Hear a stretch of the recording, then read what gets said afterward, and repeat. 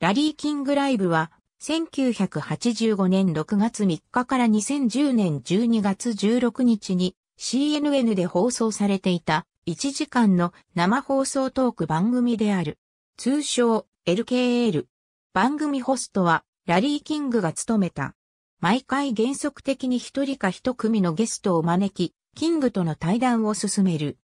そのインタビュー形式によるトークには、キングならではのスタイルや味があり、視聴者、ゲストともに信頼され、他の番組なら出ないが、ラリーキングライブだから出演したというゲストも多い。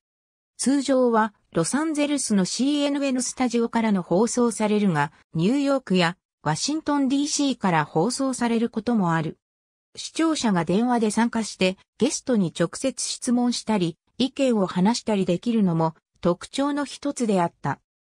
最高視聴率を記録したのは1993年11月9日の放送で、アルゴア副大統領とロスペローが北米 FTA の是非について討論を交わした回で、視聴者数は1117万人を記録した。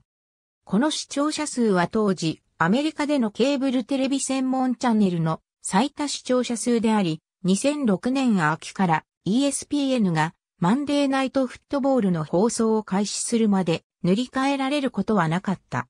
番組は2010年12月16日放送分をもって終了。放送期間は25年に及んだ。後継番組はイギリスのジャーナリストピアーズ・モーガンによるピアース・モーガン・トゥナイトで2011年1月17日に放送を開始している。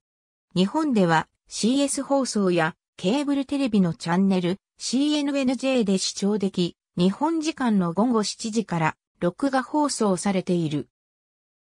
ポッドキャストでも無料配信されている。番組に出演した主なゲスト。ありがとうございます。